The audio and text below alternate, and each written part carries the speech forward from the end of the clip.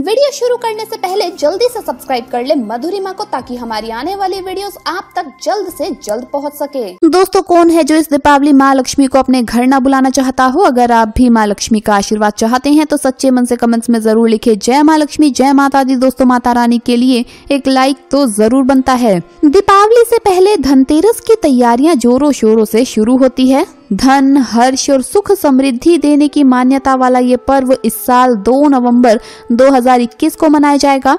दीपो उत्सव की शुरुआत भी धनतेरस से ही हो जाती है। बरसों से ये मान्यता चली आ रही है कि जो भी धनतेरस पर पूरे विधि विधान से पूजा अर्चना करता है, उसे धन और समृद्धि दोनों की प्राप्ति होती है। यही वजह है कि धनतेरस पर नई वस्तुओं को खरीद कर घर लाया जाता है।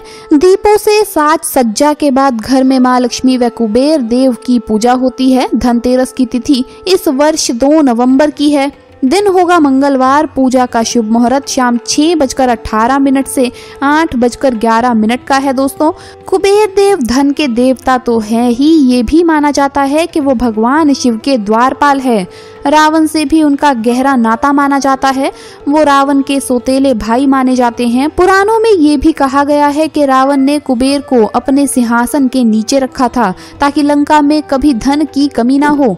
मान्यता है, दीपावली पर कुबेर देव की एक प्रतिमा अलमारी या उस स्थान पर जहाँ धन रखा हो, वहाँ ज़रूर रखना चाहिए। जिस तरह धनतेरस पर माता लक्ष्मी का पूजन होता है, उसी तरह कुबेर देव की भी पूजा की जानी चाहिए। ये भी मान्यता है कि कुबेर देव को प्रसन्न करने के लिए भगवान शिव के आगे दीपक ज़रूर लगाना चाहिए, क्योंकि शिव की कृपा से ही कुबेर को धन के देवता का स्थान प्राप्त हुआ था। धनतेरस के दिन सोने या चांदी के सिक्के खरीदें, उस पर लक्ष्मी माता और गणेश जी का चित्र बना होना चाहिए। इस सिक्के को दिवाली के दिन विधि पूर्वक पूजा करें और अपने तिजोरी में रख दें, यह आपके धन संपत्ति के लिए शुभ फलदायी होगा। धनतेरस के दिन धनिया खरीदना काफ़ी शुभ माना जाता है। इसे दीपावली वाले दिन लक्ष्मी पूजा के समय माता को अर्पित करें, फिर उसके कुछ दाने गमले में भी बो दें। उसमें अगर स्वस्थ पौधा निकलता है तो पूरे वर्ष आपकी आर्थिक स्थिति अच्छी रहेगी। अगर सोना और चांदी दोनों ही लेना संभव ना हो तो पीतल तीसरी सबसे अच्छी धातु मानी गई है इस दिन खरीदने के लिए।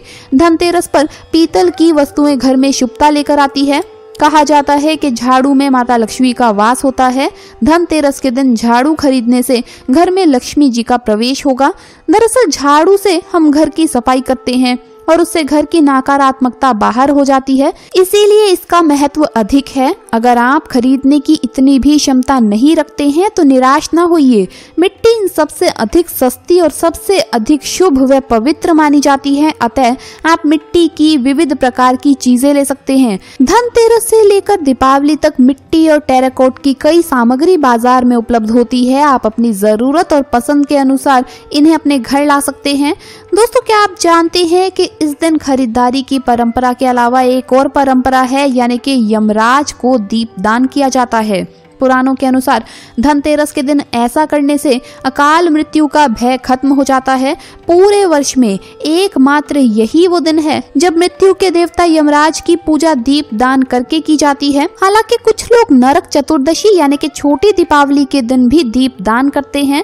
दोस्तों, यम के निमित्त दीपक आपको किस तरह से लगाना है? पूर्ण विधि और शुभ मुहूर्त हम आपको इस वीडियो में बताएँगे तो वीडियो के अंत तक बने रहिएगा। पुराणों में वर्णित कथा के अनुसार एक समय यमराज ने अपने दूतों से पूछा कि क्या कभी तुम्हें प्राणियों के प्राण हरण करते समय किसी पर दया आई है? तो वो संकोच में पड़कर बोले, नहीं महाराज। यमराज ने उनसे दोबारा पूछा तो उन्होंने बताया कि एक बार एक ऐसी घटना घटी थी जिससे हमारा हृदय काँप उठा था।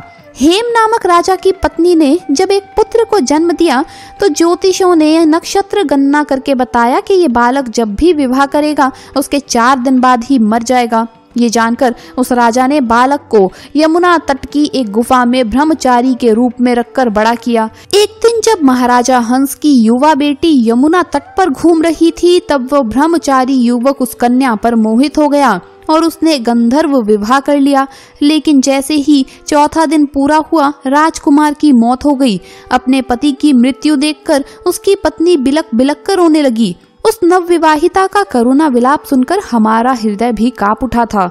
यमदूतों ने कहा कि उस राजकुमार के प्राण हरण करते समय हमारे आँसू नहीं रुक रहे थे। तभी एक यमदूत ने पूछा, क्या अकाल मृत्यु से बचने का कोई उपाय नहीं है? इस पर यमराज बोले, एक उपाय है। अकाल मृत्यु से छुटकारा पाने के लिए व्यक्ति को धनतेरस के दिन पूजन और दीप दान विधि पूर्वक करना चाहिए। जहाँ ये पूजन होता है, वहाँ अकाल मृत्यु का भय नहीं सताता। कहते हैं कि तभी से धनतेरस के दिन यमराज के पूजन के बाद दीप दान की परंपरा प्रचलित हुई है। यम के निमित्त दीपक लगाने की विधि कुछ इस प्रकार है। धनतेरस की शाम को मुख्य द्वार पर तेरह और घर के अंदर भी तेरह दीप लगाने चाहिए। ये काम सूरज डूबने के बाद किया जाता है, लेकिन यम का दिया जब लगाएँ तो पूरे परिवार के सभी सदस्य होने चाहिए। चलिए आपको बता दे दोस्तों कि यम के निमित्त दीपक लगाने का मुहूर्त क्या है। धनतेरस की शाम को पाँच बजकर चौतीस मिनट से शाम छह बजकर चौवन मिनट तक यमराज के लिए दीपक जलाया जा सकता है। इस दीप को जलाने के लिए पुराने दीप का इस्तेमाल करें। उसमें सरसों का तेल डालें और रुई की बत्ती बनाएँ। घर से दीप जलाकर लाएँ और घर के बाहर उसे दक्षिण की ओर मुख कर नाली या कूड़े के ढेर के पास रख दें। इसे मोरी दीवा भी कहा जाता है। एक दीपक आपको रात के समय धनतेरस के दिन मुख्य द्वार पर भी लगाना है। इसमें आपको एक कौड़ी और एक रुपए का सिक्का डालना है और अपने घर के मुख्य द्वार पर आप इसे रखें तो कभी भी घर में कोई अनहोनी नहीं होती है। इसी के साथ दोस्तों, अब आपको जो मैं बताने वाली हूँ, वो आपको धनतेरस की रात को सोने से पहले करना है। धनतेरस की रात, घर से बाहर निकलकर एक कौड़ी आप अपनी छत पर फेंक दें। माना जाता है कि कौड़ी लक्ष्मी जी को आकर्षित करती है। तो ये एक तरह से माँ लक्ष्मी को आप घर पर आने के लिए आमंत्रित कर रहे हैं। माँ लक्ष्मी को कभी भी सफ़ेद रंग के फूल नहीं चढ़ाने चाहिए। इससे आपकी पूजा का फल आपको नहीं मिलता है और माँ भी आपसे क्रोधित हो जाती है। तो दीपावली की रात ये गलती बिल्कुल भी ना करें दोस्तों। पूजा में अगर आप ये गलती करते हैं तो आपकी पूजा का फल आपको नहीं मिलेगा। दोस्तों, लक्ष्मी पूजा के समय अगर घर की महिला पाँच गोमती चक्र पल्लू से बाँध ले और पूजन के बाद इसे अगर आप पीले कपड़े में बाँध करके घर की तिजोरी में रख ले तो ये बहुत ही शुभ माना जाता है। दीपावली के दिन भी जब आप पूजन करते हैं, तब भी आप ये उपाय कर सकते हैं। आठ बजे के बाद दोस्तों आपको कभी भी स्नान नहीं करना चाहिए सुबह के समय। जो महिलाएँ आठ बजे के बाद स्नान करती है तो उस घर में कभी भी शुभता नहीं आती। और खास कर धनतेरस के दिन तो आप ये भूल बिल्कुल भी ना करें। धनतेरस के दिन घर की महिलाओं, यहाँ तक के घर के सभी सदस्यों को सुबह आठ बजे से पहले ही नहा लेना चाहिए। देरी ना करे दोस्तों, वरना आपके ऊपर माँ लक्ष्मी रुष्ट हो सकती है और ऐसे घर में माँ लक्ष्मी प्रवेश नहीं करती है, क्योंकि ऐसे घर में दरिद्रता का वास होने लगता है दोस्तों। और जहाँ पर भी दरिद्रता अपनी जगह बना लेती है। माँ लक्ष्मी ऐसे घर से चली जाती है। दोस्तों, अब सवाल आता है कि धनतेरस पर झाड़ू लाएँ या दिवाली पर? तो आपको बता दें कि वैसे तो खरीदारी के लिए धनतेरस सबसे शुभ दिन है तो आपको झाड़ू इसी दिन लानी चाहिए। लेकिन अगर अब आप इस दिन चूक चुके हैं तो आप दिवाली के दिन ले आइए। लेकिन धनतेरस पर लाना ज़्यादा शुभ रहता है, सही रहता है। तो दोस्तों, आपको ये वीडियो कैसा लगा, हमें कमेंट्स में ज़रूर बताएँ। इस वीडियो को लाइक करें, अपने दोस्तों के साथ शेयर करें और हमें सब्सक्राइब करना ना भूलें। धन्यवाद दोस्तों, आपका दिन शुभ रहे। जय माँ लक्ष्मी, जय माता दी हैप्पी दिवाली।